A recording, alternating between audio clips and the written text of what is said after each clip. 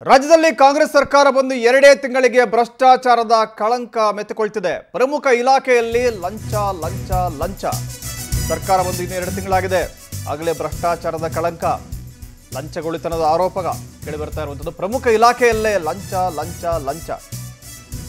ಅಧಿಕಾರಿಗಳಿಂದಲೇ ಮಂತ್ರಿ ವಿರುದ್ಧ ಗಂಭೀರ ಆರೋಪ ಕೇಳಿ ಬಂದಿದೆ ಈಗ. ಅಧಿಕಾರಿಗಳು ಮಂತ್ರಿ ವಿರುದ್ಧನೇ ಗಂಭೀರ ಆರೋಪ ಮಾಡಿಬಿಟ್ಟಿದ್ದಾರೆ. ಮಂಡ್ಯ ಜಿಲ್ಲೆಯಲ್ಲಿ ಕೃಷಿ ಸಚಿವರಿಂದ ಲಂಚಕ್ಕಾಗಿ ಒತ್ತಡ. ಕೃಷಿ ಸಚಿವರ ವಿರುದ್ಧ ಸಿಡಿದದ್ದ ಕೃಷಿ ಸಹಾಯಕ ನಿರ್ದೇಶಕರು. ಮಂಡ್ಯ ಜಿಲ್ಲೆಯ ಕೃಷಿ ಸಹಾಯಕ ನಿರ್ದೇಶಕರು ಈಗ ಮಂತ್ರಿ ವಿರುದ್ಧವೇ ಸಿಡಿದಿದ್ದಾರೆ ರಾಜ್ಯಪಾಲರಿಗೆ ದೂರು ಕೊಟ್ಟ ಮಂಡ್ಯ ಅಧಿಕಾರಿ ವರ್ಗ. ಕಾಂಗ್ರೆಸ್ ಸರ್ಕಾರ ಬಂದು ಎರಡೇ ತಿಂಗಳಿಗೆ ಈ ಒಂದು ಭ್ರಷ್ಟಾಚಾರದ ಕಳಂಕ ಮೆತ್ಕೊಂಡಿರುವುದು ಸರ್ಕಾರಕ್ಕೆ. ಪ್ರತಿ, ಪ್ರತಿನಿತ್ಯ ಆರೋಪಗಳು ಕೇಳಿಬರ್ತಾ ಸರ್ಕಾರದ ವಿರುದ್ಧ. ನೋಡಿ, ಆರರಿಂದ ಎಂಟು ಲಕ್ಷ ರೂಪಾಯಿಗೆ ಮಿನಿಸ್ಟರ್ ಡಿಮ್ಯಾಂಡ್ ಮಾಡಿದ್ದಾರಂತೆ. ಸಿಬ್ಬಂದಿ, ಅಧಿಕಾರಿಗಳು ಕೊಡಲೇಬೇಕಂತೆ ಲಂಚ. ಚಲುವರಾಯಸ್ವಾಮಿ ವಿರುದ್ಧ ರಾಜ್ಯಪಾಲರಿಗೆ ದೂರು ಕೊಟ್ಟಿದ್ದಾರೆ ಅಧಿಕಾರಿಗಳು. ಜಂಟಿ ಕೃಷಿ ನಿರ್ದೇಶಕರ ಮೂಲಕ ಲಂಚಕ್ಕೆ ಮಿನಿಸ್ಟರ್ ಒತ್ತಡ ಹೇರಿದ್ದಾರಂತೆ. ಆರರಿಂದ ಎಂಟು ಲಕ್ಷ ರೂಪಾಯಿ ಕೊಡಬೇಕು ಅಂತೇಳಿ ಲಂಚ ಕೇಳುವ ಅನಿಷ್ಟ ಪದ್ಧತಿಗೆ ಕಡಿವಾಣ ಹಾಕಿ.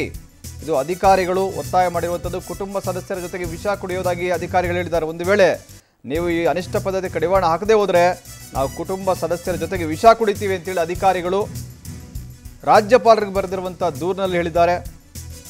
ಕೂಡಲೇ ಕ್ರಮ ತೆಗೆದುಕೊಳ್ಬೇಕು. ಇಲ್ಲ ಅಂತಂದ್ರೆ ನಾವು ವಿಷ ಕುಡಿತೀವಿ ಅಂತೇಳಿ ಪತ್ರ ಬರೆದಿದ್ದ ರಾಜ್ಯಪಾಲರಿಗೆ ದೂರನ್ನ ಕೊಟ್ಟಿದ್ದಾರೆ ಆಫೀಸರ್ಸ್. ಆರರಿಂದ ಎಂಟು ಲಕ್ಷ ರೂಪಾಯಿಗೆ ಮಿನಿಸ್ಟರ್ ಡಿಮ್ಯಾಂಡ್ ಮಾಡಿದ್ದಾರಂತೆ. ಕೃಷಿ ಸಹಾಯಕ ನಿರ್ದೇಶಕರ ದೂರಿಗೆ ರಾಜ್ಯಪಾಲರು ರೆಸ್ಪಾನ್ಸ್ ಮಾಡಿದ್ದಾರೆ. ರಾಜ್ಯಪಾಲರ ಕಾರ್ಯದರ್ಶಿಯಿಂದ ಮುಖ್ಯ ಕಾರ್ಯದರ್ಶಿಗೆ ಪತ್ರ ಕೂಡ ಬರೆಯಲಾಗಿದೆ. ರಾಜ್ಯಪಾಲರ ಕಾರ್ಯದರ್ಶಿಯಿಂದ ಈಗ ಚೀಫ್ ಸೆಕ್ರೆಟರಿಗೆ ಪತ್ರ ಬರೆದಿರುವಂಥದ್ದು, ಅಧಿಕಾರಿಗಳು ವಿಷ ಕುಡಿಯೋದಾಗಿ ಹೇಳಿದ್ದಾರೆ. ಈ ಬಗ್ಗೆ ಸೂಕ್ತ ಕ್ರಮ ಕೈಗೊಳ್ಳಬೇಕು. ರಾಜ್ಯಪಾಲರ ನಿರ್ದೇಶನ ಕೊಟ್ಟಿದ್ದಾರೆ ಅಂತೇಳಿ ರಾಜ್ಯಪಾಲರ ಕಾರ್ಯದರ್ಶಿ ಮುಖ್ಯ ಕಾರ್ಯದರ್ಶಿ ವಂದಿತಾ ಶರ್ಮಾ ಅವರಿಗೆ ಈಗ ಪತ್ರ ಬರೆದಿದ್ದಾರೆ. ಬಹಳ ಗಂಭೀರವಾಗಿರುವಂಥ ವಿಚಾರ. ಅಧಿಕಾರಿಗಳೇ ರಾಜ್ಯಪಾಲರಿಗೆ ದೂರು ಕೊಡ್ತಾರೆ. ಅಂದರೆ ಮುಖ್ಯ ಕಾರ್ಯದರ್ಶಿಗಳು ಅಥವಾ ಮೇಲಿನ ಅಧಿಕಾರಿಗಳಿಗೋ ಅಥವಾ ಸರ್ಕಾರದ ಮುಖ್ಯಮಂತ್ರಿಗಳಿಗೂ ಪತ್ರ ಬರೆದಿಲ್ಲ. ರಾಜ್ಯಪಾಲರೇ ಬರೆದಿದ್ದಾರೆ. ಈ ಸರ್ಕಾರದಲ್ಲಿ ತಮಗೆಲ್ಲೊಂದು ಕಡೆ ರಕ್ಷಣೆ ಇಲ್ಲ. ಒಬ್ಬ ಮಂತ್ರಿನೇ ಲಂಚಕ್ಕೆ ನಮಗೆ ಒತ್ತಡ ಹಾಕ್ತಾರೆ ಅಂತಂದರೆ ಹೇಗೆ ನಾವು ಬದುಕೋದು? ಇಂಥ ಒಂದು ಅನಿಷ್ಟ ಪದ್ಧತಿ ಕಡಿವಾಣ ಹಾಕಲೇಬೇಕು. ಇಲ್ಲ ಅಂತಂದರೆ ನಾವು ಸೂಸೈಡ್ ಮಾಡ್ಕೊಳ್ಳುವಂಥ ಪರಿಸ್ಥಿತಿ ನಿರ್ಮಾಣ ಆಗುತ್ತೆ. ಕುಟುಂಬ ಸದಸ್ಯರ ಜೊತೆಗೆ ನಾವು ಸೂಸೈಡ್ ಮಾಡ್ಕೊಳ್ತೀವಿ ಅಂತೇಳಿ ಅಧಿಕಾರಿಗಳು ದೂರರ್ಜಿ, ರಾಜ್ಯಪಾಲರಿಗೆ ಬರೆದಿರುವಂಥ ದೂರರ್ಜಿ ಇದು. ಇದನ್ನು ಫಾರ್ವರ್ಡ್ ಮಾಡಿದ್ದಾರೆ. ಇದಕ್ಕೆ ಸಂಬಂಧಪಟ್ಟಂತೆ ಕ್ರಮ ತೆಗೆದುಕೊಳ್ಬೇಕು ಅಂತೇಳಿ ರಾಜ್ಯಪಾಲರ ಕಾರ್ಯದರ್ಶಿ, ಸರ್ಕಾರದ ಮುಖ್ಯ ಕಾರ್ಯದರ್ಶಿಗಳು ಪತ್ರ ಬರೆದಿದ್ದಾರೆ. ನೀವು ನೋಡ್ಬೋದು, ಆ ಪತ್ರವನ್ನು ಕೂಡ ನಾವು ತೋರಿಸ್ತಾ ಇದ್ದೀವಿ. ಆಗಸ್ಟ್ ಒಂದನೇ ತಾರೀಕು ರಾಜಭವನದಿಂದ ಸರ್ಕಾರದ ಮುಖ್ಯ ಕಾರ್ಯದರ್ಶಿಗಳು ಅವರಿಗೆ ಪತ್ರ ಬರೆಯಲಾಗಿದೆ. ಮಂಡ್ಯ ಜಿಲ್ಲೆಯ ಏಳು ಕೃಷಿ ಸಹಾಯಕ ನಿರ್ದೇಶಕರುಗಳು ಬರೆದಿರುವಂಥ ಒಂದು ದೂರ ಏನಿದೆ ರಾಜ್ಯಪಾಲರಿಗೆ, ಆ ಪ್ರತಿಯನ್ನು ಕೂಡ ಲಗತ್ತಿಸಿ ಸರ್ಕಾರ ಕಳಿಸಿದ್ದಾರೆ ಅವರು. ಅಧಿಕಾರಿಗಳು ಹೇಳ್ತಾ ಇದ್ದಾರೆ, ಕುಟುಂಬ ಸದಸ್ಯರ ಜೊತೆಗೆ ನಾವು ಸೂಸೈಡ್ ಮಾಡ್ಕೊಳ್ಬೇಕಾಗುತ್ತೆ. ಮಿನಿಸ್ಟ್ರು, ಕೃಷಿ ಸಚಿವರು, ಜಿಲ್ಲಾ ಉಸ್ತುವಾರಿ ಮಂತ್ರಿಗಳು, ಮಂಡ್ಯ ಜಿಲ್ಲೆ ಉಸ್ತುವಾರಿ ಮಂತ್ರಿಗಳು ಚಲುವರಾಯಸ್ವಾಮಿ ಅವರು ಜಂಟಿ ಕೃಷಿ ನಿರ್ದೇಶಕರ ಮೂಲಕ ಲಂಚಕ್ಕೆ ಒತ್ತಡ ಆಗ್ತಾ ಇದ್ದಾರೆ.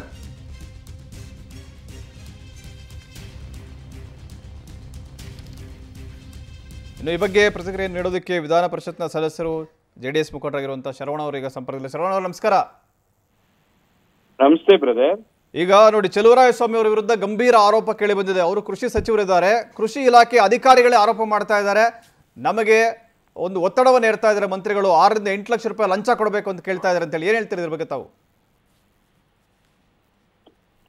ನಿಮಗೆ ಎಲ್ಲ ಮಾಹಿತಿಯನ್ನು ನಮ್ಮ ನಾಯಕರು ಸನ್ಮಾನ್ಯ ಕುಮಾರಣ್ಣ ಅವರು ಈ ಸರ್ಕಾರ ಬಂದಾದಿಂದ ಈಗೇನ್ ಎರಡು ವಾರ, ಮೂರ್ ತಿಂಗಳು ಮುಗಿತಾ ಬರ್ತಾ ಇದೆ. ಯಾವ ತರ ಭ್ರಷ್ಟಾಚಾರದ ಗಂಗೋತ್ರಿಯ ಬಗ್ಗೆ ಬಹಳ ಸ್ಪಷ್ಟವಾಗಿ ಸದನದ ಒಳಗಡೆನೂ ಮಾತಾಡಿದ್ದಾರೆ. ಸದನದ ಹೊರಗಡೆನೂ ಮಾತಾಡಿದ್ದಾರೆ.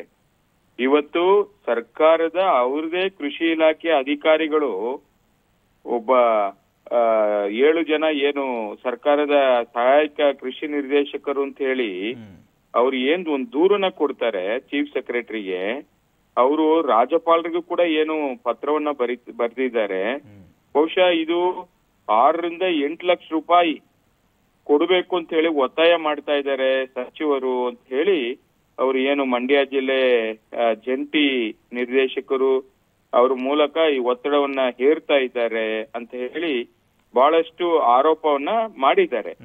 ಇವತ್ತು ಎಲ್ಲಿ ನೋಡಿದ್ರು ಕೂಡ ಸರ್ಕಾರದ ಸಚಿವರುಗಳು ಅವರ ಒಂದು ಏನು ವಿಷಯದಲ್ಲಿ ಏನೇನು ಭ್ರಷ್ಟಾಚಾರ ನಡೀತಾ ಇದೆ ಅದ್ರ ಬಗ್ಗೆ ಯಾರು ಕೂಡ ಅದನ್ನ ಸರಿಪಡಿಸ್ಕೋತೀವಿ ಮುಂದಕ್ಕೆ ಪಾರದರ್ಶಕ ಆಡಳಿತ ಕೊಡ್ತೀವಿ ಅಂತ ಹೇಳಿ ನುಡಿದಂತ ನಡೆದ ಸರ್ಕಾರ ಅಂತ ಹೇಳಿ ಸನ್ಮಾನ್ಯ ಸಿದ್ದರಾಮಯ್ಯನವರು ಅವರು ಪದೇ ಪದೇ ಭಾಷಣ ಮಾಡ್ತಾ ಇರತಕ್ಕಂಥದನ್ನ ನಾವು ಕಂಡಿದೀವಿ ಇವತ್ತು ನಮ್ಮ ನಾಯಕರು ಕುಮಾರಸ್ವಾಮಿ ಅವರು ಒಂದು ಸಣ್ಣ ಪೆನ್ ಡ್ರೈವ್ ಇಟ್ಕೊಂಡು ನಾವು ಬಿಡ್ತೀವಿ ತಾಳ್ಮೆಯಿಂದ ಇರಿ ಎಲ್ಲಿ ಬಿಡಬೇಕು ಯಾವ ತರ ಈ ಒಂದು ಭ್ರಷ್ಟಾಚಾರದ ವಿರುದ್ಧವಾಗಿ ನೀವು ಏನು ನಾವು ಬಿಟ್ಟ ಮೇಲೆ ಏನ್ ಕ್ರಮ ತಗೋತೀರಿ ಯಾ ನಾವು ಆರೋಪ ಮಾಡಿದ್ಮೇಲೆ ಆ ಸಚಿವರ ತಲೆದಂಡ ಮಾಡ್ತೀರಾ ಏನ್ ಕ್ರಮ ತಗೋತೀರಿ ಅಂತ ಹೇಳಿದಕ್ಕೆ ಮುಖ್ಯಮಂತ್ರಿಗಳಲ್ಲಿ ಉತ್ತರ ಇಲ್ಲ. ಅಲ್ಲ ಅದೇ ಅದೇ ಅದೇ ವಿಚಾರಣ ಈಗ ಇವತ್ತು- ಅಲ್ಲ ಅಲ್ಲ ಈಗ ಈಗ ಏನು ಇದು ಹೊರ ಬಂದಿದೆ ಬಹುಶಃ ಪೆನ್ ಡ್ರೈವ್ ಅಲ್ಲಿ ಇದ್ದಿದ್ದು ಇದೇ ವಿಚಾರಣ ಅಂತ ಈ ಸಚಿವರ ಬಗ್ಗೆನೇ ಇದ್ದಿದ್ದು ಅದು ಪೆನ್ ಡ್ರೈವ್ ಅಲ್ಲಿ ನಾನು ನಾನು ಅದ್ರ ಬಗ್ಗೆ ಈಗಲೇ ಬಹಿರಂಗವಾಗಿ ಹೇಳಲಿಕ್ಕೆ ನಾನು ಹೋಗಲ್ಲ. ಆದರೆ ನಮ್ಮಲ್ಲಿ ಸಂಪೂರ್ಣ ದಾಖಲೆಗಳಿದೆ. ತಮ್ಗೆ ಒಂದನ್ನ ನಾನು ತಿಳಿಸ್ಲಿಕ್ಕೆ ಬಯಸ್ತಾ ಬಯಸ್ತಾ ಇದ್ದೀನಿ. ಇದೇ ತರನೇ ಸನ್ಮಾನ್ಯ ಯಡಿಯೂರಪ್ಪನವ್ರ ಸರ್ಕಾರದಲ್ಲಿ ಕೂಡ ಈ ತರ ಭ್ರಷ್ಟಾಚಾರ ದೊಡ್ಡ ಮಟ್ಟದಲ್ಲಿ ಆಗ್ತಾ ಇರತಕ್ಕಂಥದನ್ನ ನಮ್ ನಾಯಕರು ಹೇಳ್ಕೊಂಡ್ ಬರ್ತಾ ಇದ್ದಾಗೆಲ್ಲ ಕೂಡ ಅಯ್ಯೋ ಕುಮಾರಸ್ವಾಮಿ ಅವರು ಹಿಟ್ ಅಂಡ್ ರನ್ ಅಪ್ಪ ಅವರು ಬಿಡ್ತೀನಿ ಬಿಡ್ತೀನಿ ಬಿಡ್ತೀನಿ ಅಂತಾರೆ ಹಾವು ಬಿಡ್ಲಿ ನೋಡೋ ಬಿಡುವ ಅಂತ ಹೇಳ್ತಾ ಇದ್ರು. ಆದ್ರೆ ಇವತ್ತು ಕೂಡ ಅದೇ ಪರಿಸ್ಥಿತಿ ಇದೆ. ಆಗ್ಲೇ ನಮ್ಮ ನಾಯಕರು ಕುಮಾರಣ್ಣವರು ಸನ್ಮಾನ್ಯ ಪ್ರಧಾನಮಂತ್ರಿಗಳನ್ನ ಸನ್ಮಾನ್ಯ ಹೋಮ್ ಮಿನಿಸ್ಟರ್ನ ಕೇಂದ್ರದ ಎಲ್ಲಾ ನಾಯಕರುಗಳಿಗೆ ಅದು ಏನ್ ಪತ್ರ ಬರಿಬೇಕಾ ಅಥವಾ ಏನ್ ಸಮಯ ಕೇಳಿದ್ದಾರೆ ಈ ಭ್ರಷ್ಟಾಚಾರದ ದಾಖಲೆಗಳನ್ನ ಡೆಲ್ಲಿಯಲ್ಲೇ ಬಿಡುಗಡೆ ಮಾಡ್ತೀನಿ ಅಂತ ಹೇಳಿದ್ದಾರೆ ಇವತ್ತೇನು ರಾಜ್ಯ ಸರ್ಕಾರ ಯಾವ ಮಟ್ಟಕ್ಕೆ ಸಾವಿರಾರು ಕೋಟಿ ಈ ವರ್ಗಾವಣೆ ಇರ್ಬೋದು ಬೇರೆ ಬೇರೆ ರೀತಿಯಲ್ಲಿ ಭ್ರಷ್ಟಾಚಾರ ಇರ್ಬೋದು ಎಲ್ಲ ಮಂತ್ರಿಗಳು ಎಲ್ಲಾ ಇಲಾಖೆಯಲ್ಲಿ ಏನೇನ್ ನಡೀತಾ ಇದೆ ಎಲ್ಲ ಸಂಪೂರ್ಣ ಮಾಹಿತಿಯನ್ನ ನಮ್ಮ ಕುಮಾರಣ್ಣವರು ಇಟ್ಕೊಂಡಿದ್ದಾರೆ. ಒಬ್ಬ ಮಂತ್ರಿದಲ್ಲ. ರಾಜ್ಯಪಾಲರಿಗೆ ಅಲ್ಲ ಅಲ್ಲ ಒಬ್ಬ ಮಂತ್ರಿ ಮಾತ್ರ ಅಲ್ಲ ದಾಖಲೆ ಸಾಕಷ್ಟು ಮಂತ್ರಿಗಳು ಇದೆ ದಾಖಲೆ ಅಂತೀರ ತಮ್ಮ ನಾಯಕರ. ಬಗ್ಗೆ. ಹೌದೌದೌದೌದೌದೌದೌದು ಇವತ್ತು ಅವರಿಗೆ ಏನಾಗ್ಬಿಟ್ಟಿದೆ ಸರ್ಕಾರ ನೂರ ಮೂವತ್ತೈದು ಸೀಟ್ ಕೊಟ್ಟ ತಕ್ಷಣನೇ ಇನ್ನೇನು ಎಲ್ಲಾ ಜನ ನಮ್ ಪರವಾಗಿ ನಿಂತ್ಬಿಟ್ಟಿದ್ದಾರೆ ಕೊಟ್ಬಿಟ್ಟಿದ್ದಾರೆ ಅಂತೇಳಿ ಬಹಳಷ್ಟು ಸಂಭ್ರಮದಲ್ಲಿ ಮೆರಿತಾ ಇದ್ರಲ್ಲ ಇವತ್ತು ಅವ್ರನ್ನೇನ್ ಕೇಳೋರ್ ಮಾಡೋರಿಲ್ಲ ಅಂತ ತಿಳ್ಕೊಂಡವ್ರ ಸರ್ಕಾರದಲ್ಲಿ ಇರತಕ್ಕಂತ ಸಚಿವರಾಗ್ಲಿ ಇರತಕ್ಕಂತ ವ್ಯವಸ್ಥೆ ಆಗ್ಲಿ ಇವತ್ತು ಯಾವ ಮಟ್ಟಕ್ಕಿದೆ ಅನ್ನೋದನ್ನ ಈ ರಾಜ್ಯದ ಜನ ಅರ್ಥ ಮಾಡ್ಕೋತಾರೆ. ಮುಂದಿನ ಪಾರ್ಲಿಮೆಂಟ್ ಚುನಾವಣೆಯಲ್ಲಿ ಏನ್ ಮಾಡ್ಬೇಕೋ ಮಾಡ್ತಾರೆ. ದುಡ್ಡು ಸಂಪಾದನೆ ಮಾಡೋದು ದುಡ್ಡು ಮಾಡಿದ ತಕ್ಷಣನೇ ಎಲ್ಲ ಮುಗಿದ ಬಿಡುಗಡೆ ಮಾಡೋದು ಯಾವಾಗ ನಿಮ್ ನಾಯಕರು ಅಂತ? ಜನ ಕಾಯ್ತಿದ್ದಾರೆ. ಕೂಡ್ಲೇ ಈಗ ಪ್ರಧಾನಮಂತ್ರಿಗಳನ್ನ ಮಂತ್ರಿಗಳನ್ನ ಗೃಹ ಸಚಿವರನ್ನ ಆಗ್ಲೇ ಭೇಟಿ ಮಾಡಕ್ಕೆ ಸಮಯವನ್ನ ಕೇಳಲಿಕ್ಕೆ ಅವರು ಪ್ರಯತ್ನ ಪಡ್ತಾ ಇದ್ದಾರೆ. ಅವರು ಸಮಯ ಕೊಟ್ಟ ಮೇಲೆ ಇದೇ ಅಲ್ಲಿ ಪ್ರಧಾನಮಂತ್ರಿಗಳಿಗೆ ಆ ನೈಸ್ ವಿಚಾರದ ಸರ್ಕಾರದ ದೊಡ್ಡ ಮಟ್ಟದ ಅಗ್ಗರಣ ಇರ್ಬೋದು ಮತ್ತೆ ಇವತ್ತು ಏನು ಕೃಷಿ ಇಲಾಖೆ ಬಗ್ಗೆ ತಾವು ಮಾತನಾಡ್ತಾ ಇದ್ದೀರಿ. ರಾಜ್ಯಪಾಲರಿಗೆ ಒಬ್ಬ ಅಧಿಕಾರಿ ಸರ್ಕಾರದ ಅಧಿಕಾರಿ ಜಂಟಿ ನಿರ್ದೇಶಕ ಪತ್ರ ಬರಿತಾನಂದ್ರೆ ತಾವು ಅರ್ಥ ಮಾಡ್ಕೊಳ್ಳಿ. ಯಾವ ಮಟ್ಟಕ್ಕೆ ಇವತ್ತು ಸರ್ಕಾರ ಇದೆ ಅನ್ನೋದನ್ನ ನೀವು ಅರ್ಥ ಮಾಡ್ಕೋಬೇಕು. ಅದರಿಂದ ನಮ್ಮ ನಾಯಕರು ಖಂಡಿತ ಅದನ್ನ ಬಿಡುಗಡೆ ಮಾಡೇ ಮಾಡ್ತಾರೆ. ಈಗ ಏನ್ ಗ್ರಹ ಸಚಿವ ಇದು? ನಮ್ಮ ರಾಜ್ಯದ ಸಚಿವರು ಎಷ್ಟ್ ಜನ ತಲೆದಂಡ ಆಗ್ತಾರೆ ಅನ್ನೋದು ನನಗೆ ಗೊತ್ತಿಲ್ಲ. ನೋಡ್ಬೇಕು. ಇವತ್ತು.